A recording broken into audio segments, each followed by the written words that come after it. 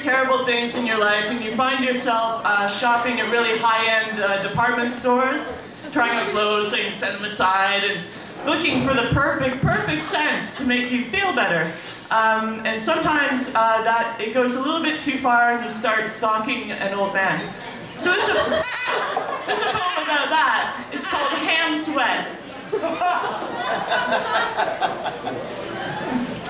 if I were to take a giant piece of ham and carve a man out of it, it would look like you.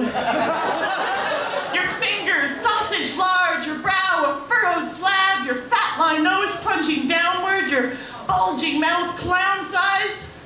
We meet outside your house, you ask me for something and I help, my hand ends up in yours and I am smitten with your smell, your stench, your core. I want to bottle you and hand you over to perfumers so they can scrape your skin and share you. The world would become an apocalyptic porno. Hearts and heart-ons would burst, backs would break, pelvises would snap. The word lube would be removed from the dictionary. Your sublime scent has me trolling past your door, trying my dying to shake that meaty cut of a hand of yours just so I can huff my palm all the way home. Somehow I'm too embarrassed to ask you if you're wearing something.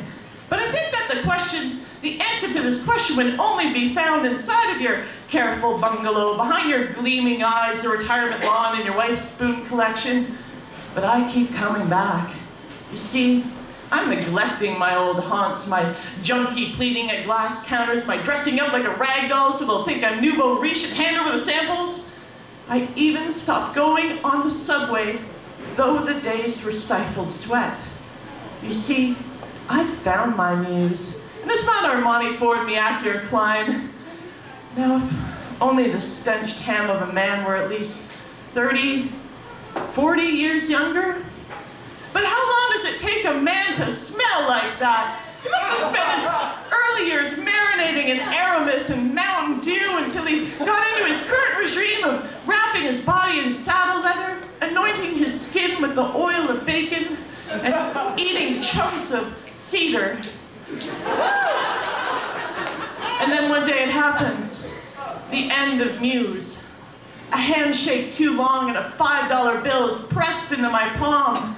I politely decline, but then my wrist is grabbed so hard that the blood in my fingers stops. I wrench away from intoxicating odors. It's over. My loss is five senses large. My grief is wrapped up in aromatic memory like prosciutto. Only five bucks? Thank you.